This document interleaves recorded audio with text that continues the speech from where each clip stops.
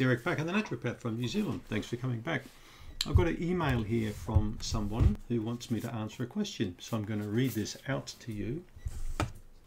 And the answer may benefit more just than this one person. Hi Eric, I've seen you in your clinic several years ago. I'm pretty sure it was regarding menopause. Um, that these symptoms were at the time distressing. This lady writes here. I went into menopause at 43 after having my third baby. I'm 54 years old now and the symptoms are diminishing. However, I have a few that I can't seem to get a handle on. I still wake in the night mostly thirsty and with a hot flush. No sweats though. Sometimes it feels like hourly. The biggest bugbear is weight gain around my waist. I've gained 8 kilograms. It's about 17 pound. Uh, nothing seems to help. I've tried most things and I'm wanting to stop and hopefully reverse this with food, rest and exercise. Any hot tips would be gladly received. No pun intended, the hot tips. Um, I look forward to reading about your reading your blogs and will forward my, your email to my family members as your work is invaluable. Thanks for that. Um, and this lady lives around the corner from me, not far away. And your garden and home look amazing. Thank you for that.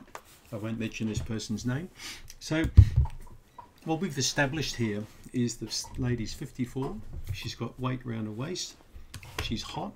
She's flushing, but no sweating. So obviously we've got menopause there at 54.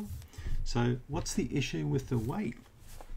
Well, we're going to get a hormonal redistribution, uh, usually sort of mid 40s to sort of late 50s. So this is quite normal, and a lot of people my age, you know, will slowly notice things like like more hair around the ears or nose or face, more hair on different parts of the body. Uh, there could be thinning in some areas, more hair in others. Could be weight distribution.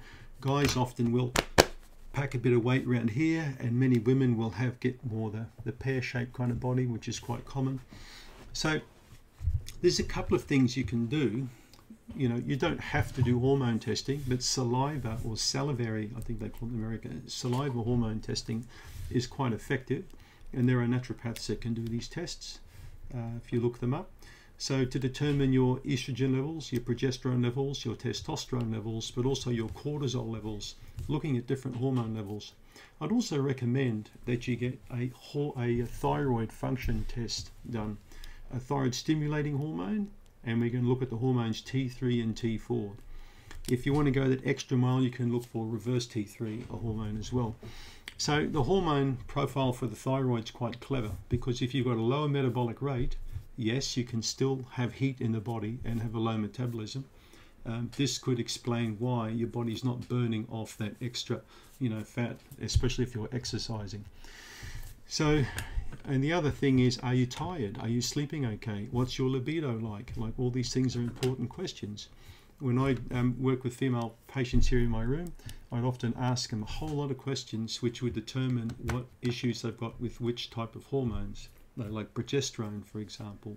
Uh, women with low progesterone tend to have more anxiety um, and then they have more issues around phobias and anxiety and uh, breathing issues and skin issues. They can't sleep properly women with estrogen issues can have many different issues. A list is as long as like two arms put together. so, how do you balance these hormones? Well, a good thing to do at 54, in my opinion, is to have a glass of soy milk per day or eat more soy into your, put more soy into your diet. Uh, non-genetically modified soy, phytoestrogens is quite a clever thing to do. I find that always seems to help if you do that.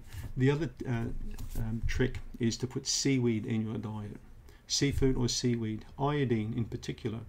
So iodine can have a massive effect on the weight around the waist for many women. Just one drop of iodine per day, two drops can make incredible difference over a period of six months. So, and again, thyroid testing probably would be good. Weight around the waist, I'd be walking every single day uh, at least three to five kilometers per day. Uh, get up early because it's summertime now here in NZ, so walking every day. Um, the other one is the carbohydrate selection. Look very carefully at what you're eating and how much you're eating and when are you eating. So start with just normal three meals a day. What you want to do is very slowly reduce the portion sizes of these meals and snack on other kind of foods than you're probably snacking on now to fill you up. Never go shopping without having a full tummy, all right?